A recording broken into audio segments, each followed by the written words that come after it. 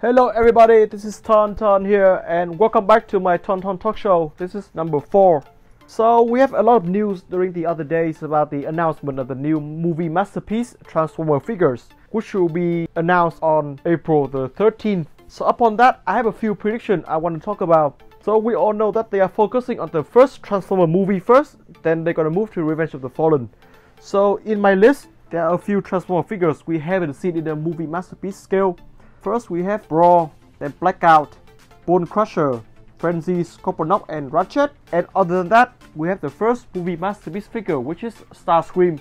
But that is just more like a leader upscaling into the movie masterpiece. So in my prediction, the highest chance could be a movie masterpiece Ratchet or another movie masterpiece Starscream which will be the 2.0 and then or maybe they will announce both just like with the uh, back times with Megatron and Jazz so one Autobots one Decepticons so what am I expecting here so we all know that the movie masterpiece line is famous for the transforming sequences which is kind of like they try to make it closest to the movie as possible so what I hope here is that they can recreate that rotating body parts of Ratchet onto place. That would be really nice. Upon to Starscream, I'm very curious to see what they can improve because as we all know with that shape of Starscream, transforming him it's not that difficult. But they manage at the best at the leader version.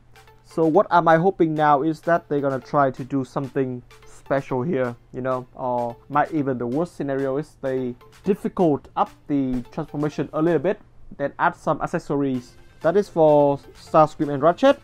About the other figures, which are all Decepticons. So I think the problem here with Brawl and Blackout here is that they are really big figures, but they are also sub characters. Because of the, their size, the price gonna be high, but they are not the main characters. So and so like anybody gonna buy it, like Megatron.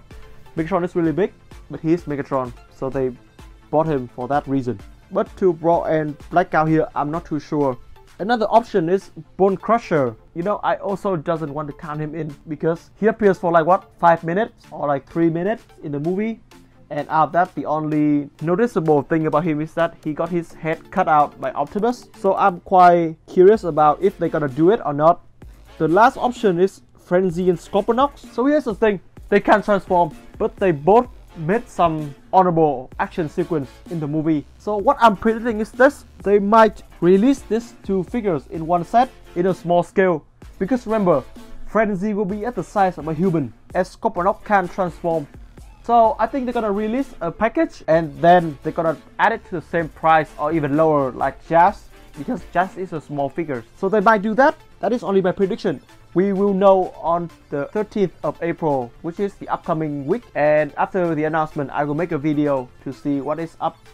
Okay, the next thing I want to talk about is the Studio Series Sentinel. We all saw the, the reviews and the image we all know that hit swords are terrible. They are they force it onto the transformation. So probably they're gonna do an upgrade kit about it. And so I think they're gonna sell the sword, the shield, and the his blaster as well. And that would be nice. I hope DNA gonna do that because if they're gonna do that, they have my support here. Because to be honest with you, I don't normally buy third-party add-ons, but then with the Sentinel Prime case, I think that is a must-do because that is the iconic weapons of Sentinel. They're gonna, I think they're gonna release a pack of sword, the shield, and the blaster in the future. And I don't think that they're gonna, gonna try to squeeze it eh, onto the transformation. So just leave it outside so he can hold it and pose it. That would be really nice. And talking about add-ons, recently DNA has also announced about the add-on trailer for the Studio Series Optimus. So that will be the completely new package of the trailer.